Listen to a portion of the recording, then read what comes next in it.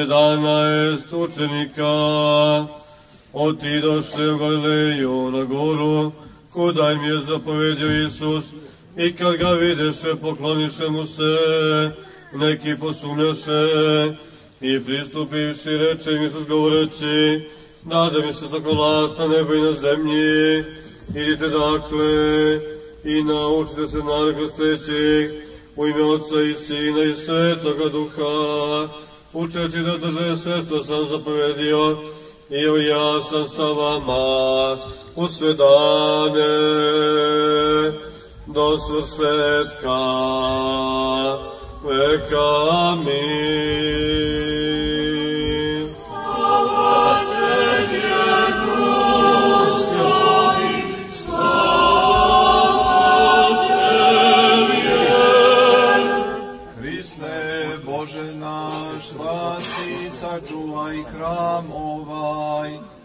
Do svršetka vijeka, seg dan i nje i prisno, i vo vijek i vijekov.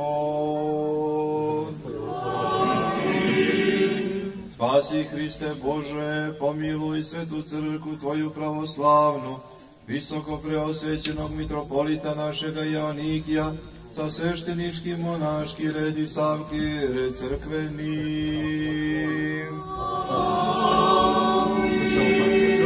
Spasi Hriste Bože naš, mjesto ovo selo sve njegove žitelje, sve današnje svečare, domove njihove, sačuvaj i blagoslovi u vjekove vjekova.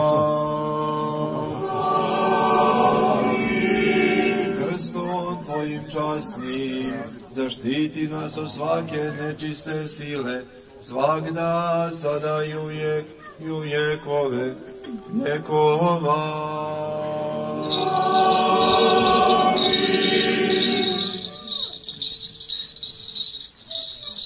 Odvigo.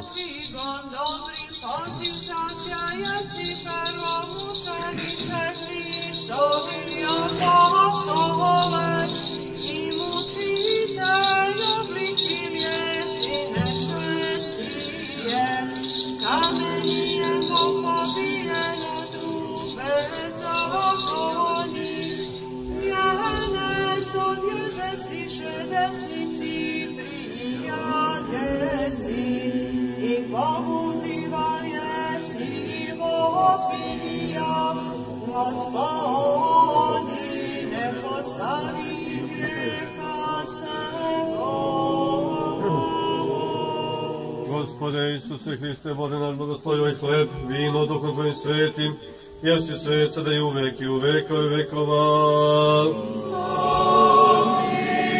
U slavu i čast svetog arhiđakona Stefana, čiji molitvom, Gospode, pomiluj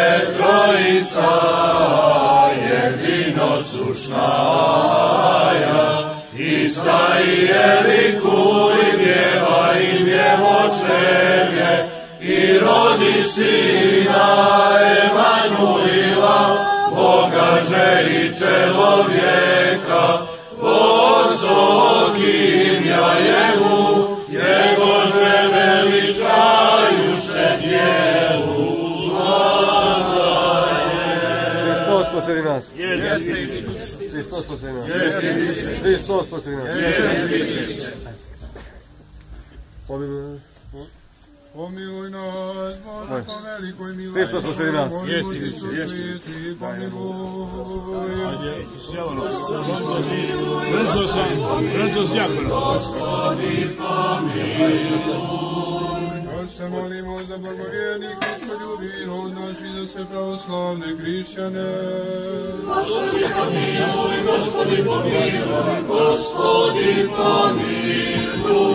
Još se molimo za visoko preosveštenog mitropolita našega Janike i za svu Hristu braću našu. Još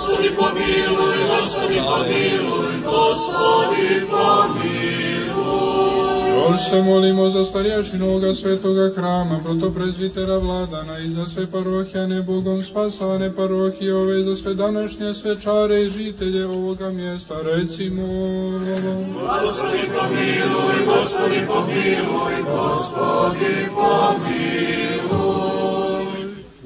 Jer si milosti čovjeku ljubi Bog i tebi slavu uznosimo Otcu i Sinu i Svetome Duhu, sada i uvijek i u vijekove vijekova.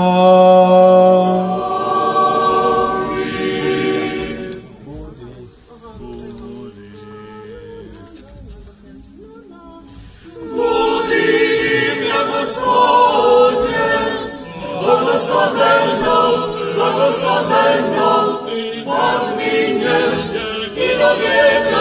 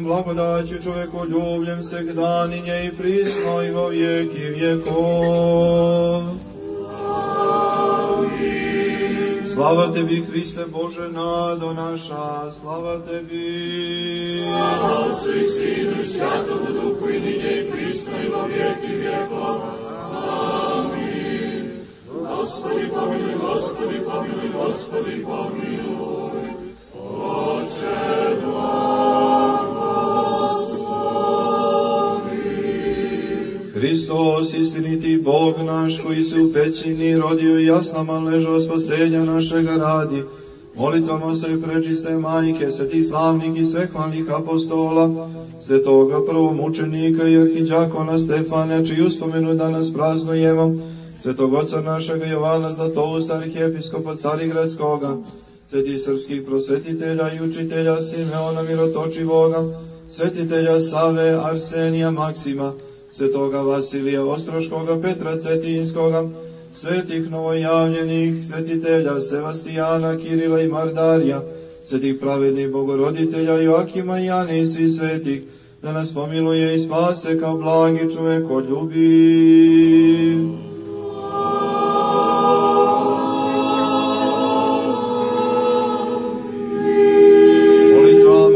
Otaca naših gospodi Isuse Hriste Bože naš, pomiluj nas.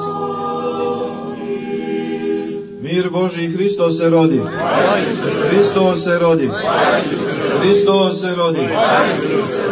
Draga braćo i sestre, draga djeco, evo dana koji ga Gospod stvori da se u njemu radujemo i veselimo, kako nam se kaže to u Svetome pismu. Blagoslovenoga dana, trećega dana Božića, kada nam se rodio Spasitelj Gospod naš Isus Hristos, koji je došao u ovaj svijet da donese mir, da donese radost, da donese blagoslov i da donese spasenje rodu ljudskome. Zato se Božić i svetkuje tri dana. Zato je Božić i najradosniji praznik u godini i najomiljeniji praznik u svim porodicama, jer on nas nekako uzdiže do nebesa, jer Gospod je sašao sa nebesa, uzeo naše tijelo, dotakao se ove zemlje, da bi mi, grešni ljudi, postali bogovi po blagodati, kako su to govorili sveti oci, i Gospod Bog naš je postao naš brat i vječni sabrat. Velika je to tajna i veliki je to blagoslov za nas ljude. I zato, se, zato se radujemo roždestvu Hristovom i zato ga slavimo, zato pjevamo Bogu našemu, pjevamo one radosne pjesme jer zaista zasija spasenje rodu ljudskome.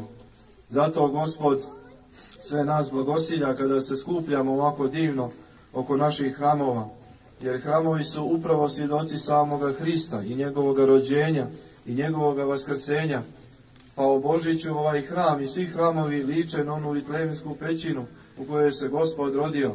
A s druge strane, kada praznujemo njegovo sveto vaskrsenje, kao što je i danas nedelja, pa i vaskrsenje spomenujemo, ono upravo svaki hram postaje sveti grob iz koje je Gospod vaskrsao i odakle je zasijala opet ona svjetlost vječna i neprolazna i vječno spasenje rodu ljudskome.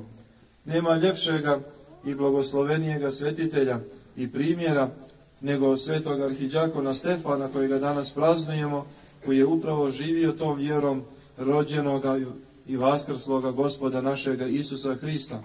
On je svojim životom posvjedočio svoju vjeru u rođenoga bogomladenca, u vaskrsloga Hrista i svoj život i svoju mlado, mladost položio i postao prvo mučenik među svim mučenicima koji je stradao za vjeru Hristovu i za samoga gospoda.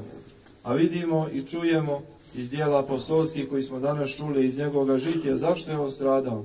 Zato što je gospoda slavio, što je imao čisto srce, što je imao pravu vjeru i što je pomagao drugim ljudima.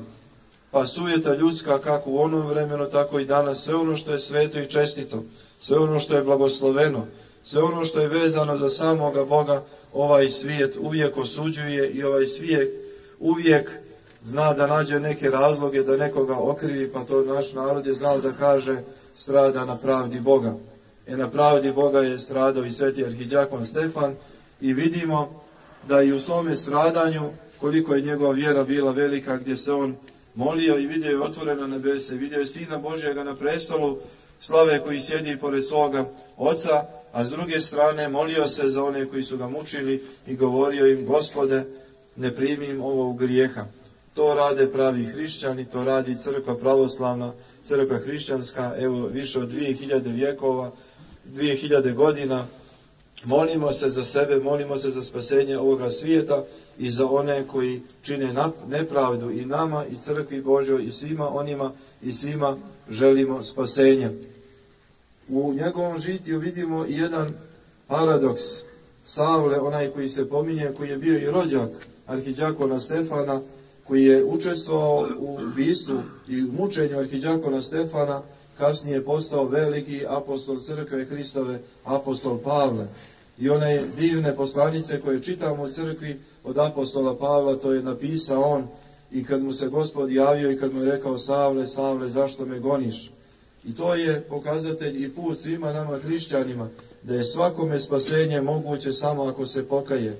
Evo vidimo Savla koji je ubio arhiđakona Stefana, a vidimo ga na ikonostasu danas i arhiđakon Stefan i apostol Pavle, jer se pokajao, povjerovao je vaskrsloga Hrista, u bogomladenca Hrista, u sve što o sebe, pokajao se za ono što je učinio i bilo mu je moguće da postane veliki, veliki apostol, učitelj crkve i nema pravoslavne crkve i hrišćanske crkve gdje se njegova dijela i poslanice apostola Pavla ne čitaju. Zato je crkva velika, pravoslavna blagoslovena, cijelebna, zato gospod daje spasenje svakome koji u njega povjeruje. I nikada nije kasno da učinimo dobra djela, nikada nije kasno da se pokajemo, nikada nije kasno da povjerujemo u Bogomladenca i Vaskrsloga Hrista, jer su nam dveri carske uvijek otvorene onima koji to hoće, jer vjera je izraz slobode, jer je Bog dao i darivao čovjeka slobodom, a to je najveći dar i zato je Gospod došao da nam daruje slobodu. Neka je svim žiteljima ovoga mjesta, ovoga sela, crkvenom odboru, našem ocu Vladanu, svim njegovim parohijalima i svi ovdje sabranima, srećna današnja slava, srećna današnja svetkovina, da nas Bog, Bogomladenac, čuva, blagosilja, na prvom mjestu ovu našu divnu djecu koju su danas nosile ove litije oko ovoga hrama i time se uče pravoj vjeri.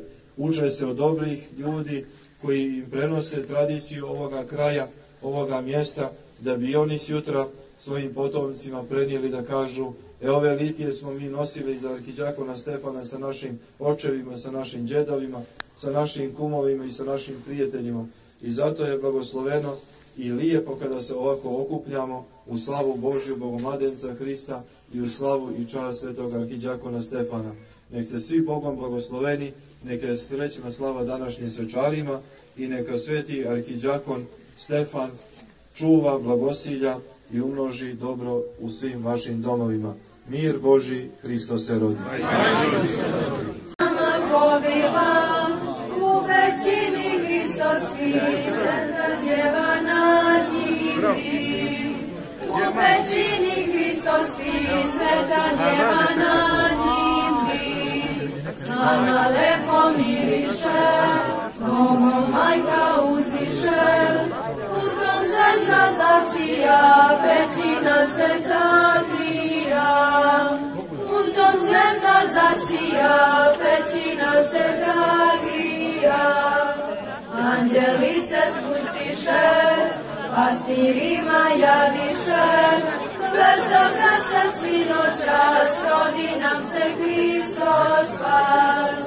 Vesel se svinočas, rodi nam se Hristos spas. Kad to čuli pastiri, srce im se umiri, pa kliknuše svi u glas, nek se slavi Hristos spas. Pa kliknuše svi u glas, nek se slavi Hristos spas.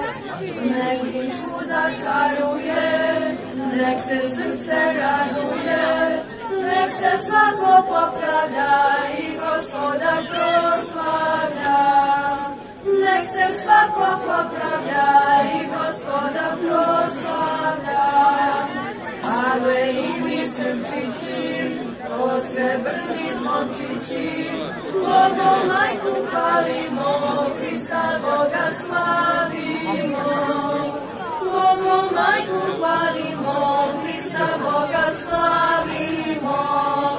Božić, Božić, blagi dan, blago Hrista rođen dan. Božić, Božić, sveti dan, sa svetlošću obasjan. Božica, da sa srđošću obasna.